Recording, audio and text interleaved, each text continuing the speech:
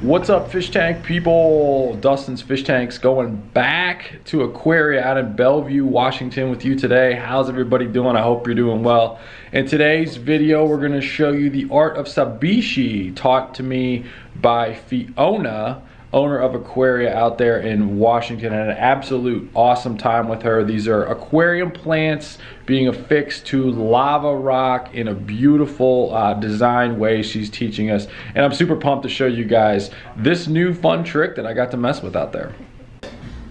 Yeah, I'm Sorry, gonna get down here. like, not supposed to be so loud in here. I feel like this is like a This is a quiet place, George. Yeah.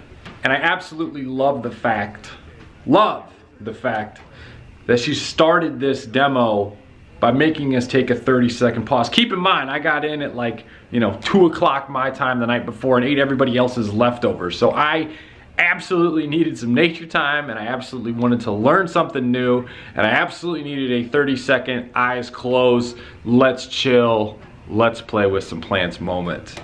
And Fiona made us do that. Not until you shave your mustache. All right. Well, then I guess we'll, I'll just document it through my lens and. We'll That'd be awesome. Go, Yeah. Just uh, tag team it. a little bit. Whatever you guys want to do. All right, I'm starting the the time lapse here. Thank you, George. Sorry. Are you, are you going? No, you're good. Are you gonna be standing here teaching Yeah. us? Uh, now, George, George Uh, she's gonna but stand I there. can, I can, it's just, Why don't we put it um, like right here? Or no? Okay, well, let's see. pick, pick a lava rock. Go pick a rock. Okay. I like that has like a look. Mm. It's okay.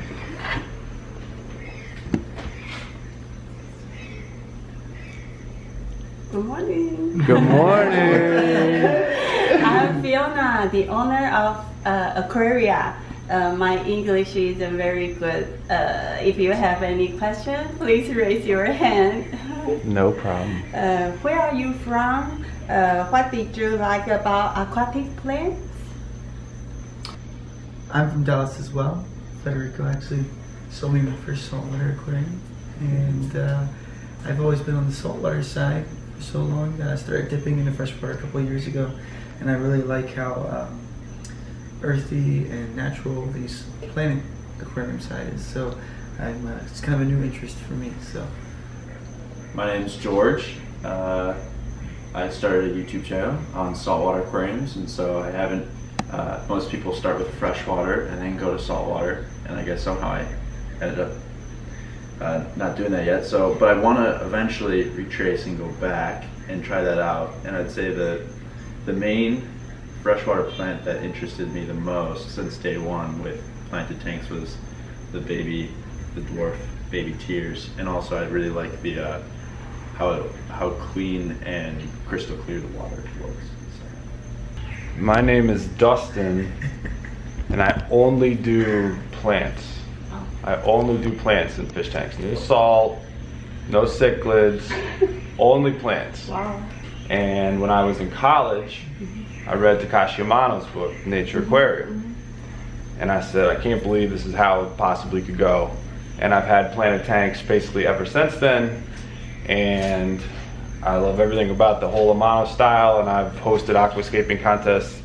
I don't think I got a, a video clip of it or whatever, but uh, Fiona actually has her camera, and we were talking about meeting Takashi Amano because I met him in 2008 at the AGA, and she had uh, Takashi Amano sign the back of her camera in like 2012, and I was or, or something like 2012 or 2008, and I was like, oh, was that when he was in Atlanta? And like she kind of looked at me because that was when she met him in Japan. I quickly bit my tongue there, but I thought it was funny because she has a signed camera from Takashi Amano. May he rest in peace. Super excited. No pressure. this is fun. Uh-huh. Hope you will enjoy our workshop today. Thank you. for sure.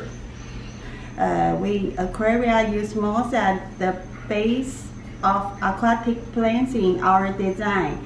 Uh, let us know how to create our aquaria, aquaria style sabi-ishi today. Sabi-ishi. Sabi-ishi. Sabi-ishi always starts with nature. This picture was taken uh, from my friend. It looks like a sabi-ishi in nature. Okay. Beautiful.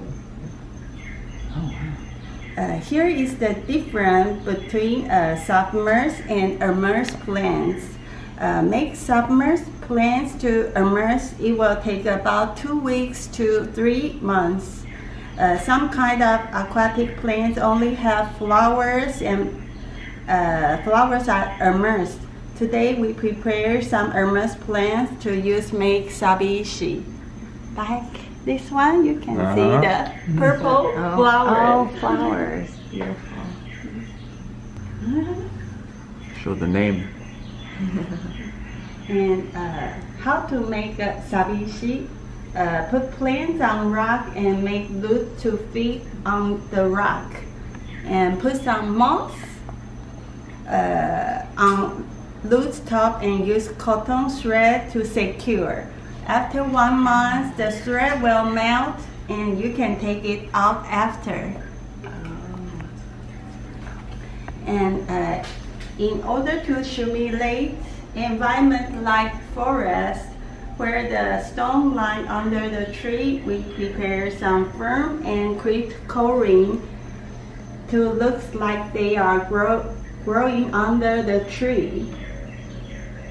We recommend two to five kinds of aquatic plants. I want to emphasize something that she says here. She says we recommend uh, two to five types of aquatic plants. Uh, she did rocks that were just singular species. She had one with Utricularia graminifolia, say that five times fast, and then in a couple others that were just like one or two species. And I think that's important for the natural look. I actually had her look over my shoulder at one point. I asked her for her opinion of what she thought about uh, my rock. She goes, how many plants do you have there? And I had three plants, but they just didn't look quite right. So we actually scaled it back to two. Goes to the main plants. For the main aquatic plants, use odd number if under five. Okay. It's like Odd number if uh, under five. Yes, We understand. It's like uh, 88 Iwagumi. Iwagumi, Uh, Mr. Amano always use the odd number if under Odd five. number if under Yeah. five? Yeah. Okay. There's actually some reef Iwagumis. Really? Mm. Oh wow.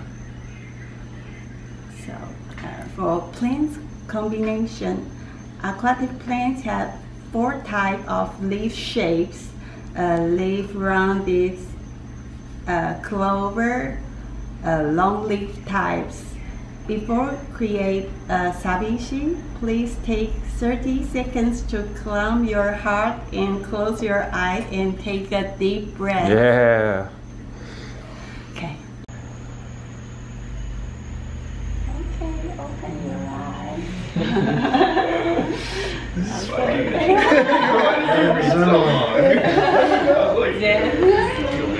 I was just like trying to find my zen. over here. It was very peaceful. Why they have the best aquascapes in the whole world. Extremely cozy. This is why. And uh, let's Make the, make made 30 seconds of silence.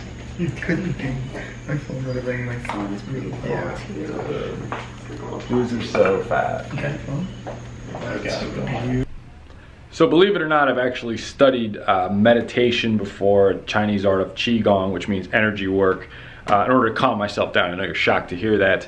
And with like being around Fiona and being in her tiny little shop that's like so precise and so just like very feng shui, very soothing, and then going through this process with her with all of these aquarium plants and planting them and how to plant them and her critiquing them. I literally just wanted to do like an entire apprenticeship underneath her, just like following her around and learning this. I mean, obviously her English isn't great as she admits, but just like the art and the the flow and the connection that she has with nature is super apparent by obviously all of her great aquascapes as well as her uh, teaching all of this to us. I mean, look at the plates, look at the design, look at how everything is on slate. It's just mwah. What about lighting? lighting. Uh, they need sunlight, Okay. so put them close to the window. Window. Okay. Mm.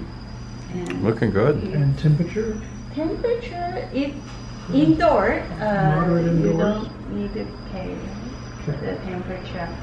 And it's a very good season for Wabikusa because uh, they they have flowers in spring and Springtime. summer. Perfect. Easy. I could do better.